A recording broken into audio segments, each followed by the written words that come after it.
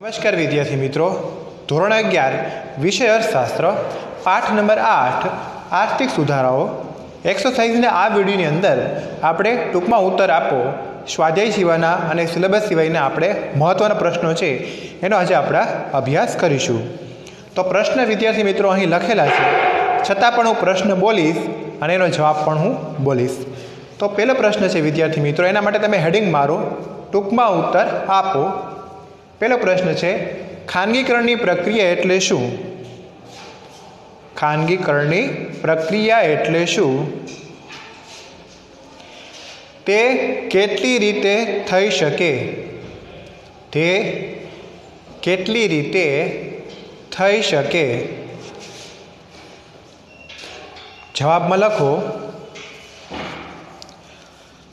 રાજ્ય કે દેશમાં રાજ્ય કે દેશમાં? જાહેર ક્ષેત્રના ઉદ્યોગોની, જાહેર ક્ષેત્રના ઉદ્યોગોની, માલિકી અને સંચાલન, માલિકી અને સંચાલન, પૂર્ણરૂપે અથવા પૂર્ણરૂપે અથવા, આંશિક રૂપે આંશિક રૂપે ખાનગી ક્ષેત્રને સોંપવાની પ્રક્રિયા, ખાનગી ક્ષેત્રને સોંપવાની પ્રક્રિયા એટલે ખાનગીકરણની પ્રક્રિયા. ખાનગીકરણની પ્રક્રિયા. પેરેગ્રાફ પાડી લખો. ખાનગીકરણની પ્રક્રિયા ખાનગીકરણની પ્રક્રિયા આ મુજબ થઈ શકે. ખાનગીકરણની પ્રક્રિયા આ મુજબ થઈ શકે. એમાં નંબર એક કરીને લખો. વિમૂળીકરણ દ્વારા. નંબર એક. વિમૂળીકરણ દ્વારા. નંબર બે. જાહેર ક્ષેત્ર માટે. નંબર બેમાં લખો. જાહેર ક્ષેત્ર માટે અનામત ઉદ્યોગોની અનામત ઉદ્યોગોની સંખ્યા ઓછી કરી અનામત ઉદ્યોગોની સંખ્યા ઓછી કરી ખાનગી ક્ષેત્રનો વ્યાપ ખાનગી ક્ષેત્રનો વ્યાપ વધારી ખાનગી ક્ષેત્રનો વ્યાપ વધારી અને નંબર ત્રણ કરીને લખો. અને નંબર ત્રણ. જાહેર ખાનગી સંયુક્ત માલિકીના જાહેર ખાનગી સંયુક્ત માલિકીના ઉદ્યોગો સ્થાપી. ઉદ્યોગો સ્થાપી. એના પછી બીજો પ્રશ્ન છે, એ લખો. વિદેશી સંસ્થાકીય વિદેશી સંસ્થાકીય મૂડીરોકાણ સમજાવો. વિદેશી સંસ્થાકીય મૂડીરોકાણ સમજાવો.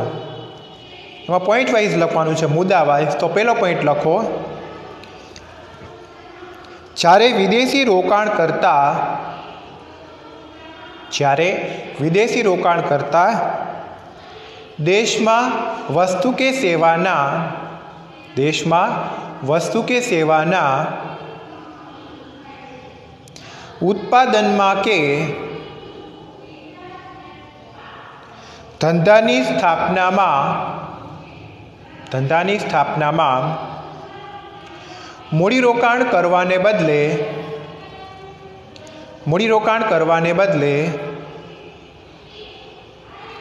દેશના નાણાં બજાર કે? દેશના નાણાં બજાર કે? મૂડી બજારમાં શેર કે બોન્ડની ખરીદી માટે? શેર કે બોન્ડની ખરીદી માટે? મૂડીરોકાણ કરે છે.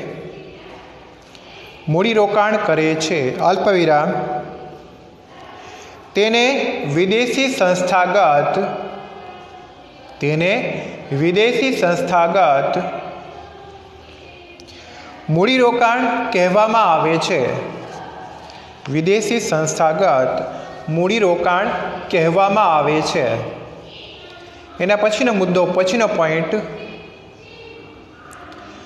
વિદેશી સંસ્થાગત મૂડીરોકાણ કરનારે વિદેશી સંસ્થાગત મૂડીરોકાણ કરનારે વિદેશી સંસ્થાગત રોકાણકર્તા તરીકે વિદેશી સંસ્થાગત રોકાણકર્તા તરીકે દેશમાં નોંધણી કરાવવી પડે છે. દેશમાં નોંધણી કરાવવી પડે છે. એના પછીનો પોઈન્ટ પછીનો મુદ્દો, દેશમાં મોટે ભાગે, દેશમાં મોટે ભાગે આવા રોકાણો આવા રોકાણો વિદેશી બેન્કો અલ્પવિરામ, વીમા કંપનીઓ, અલ્પવિરામ, મ્યુચ્યુઅલ ફંડ વગેરેમાં હોય છે. વગેરેમાં હોય છે. એના પછીનો પોઈન્ટ એના પછીનો મુદ્દો, આવા રોકાણો